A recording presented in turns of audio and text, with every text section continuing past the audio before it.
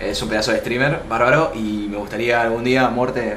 Chicos, no le manden clip de esto, chicos, porque no quiero parecer spammer ni todas esas cosas, pero. No, ojalá que algún día se me dé hacer un, un DS con él. Pero no le, no, le, no le manden este clip, chicos.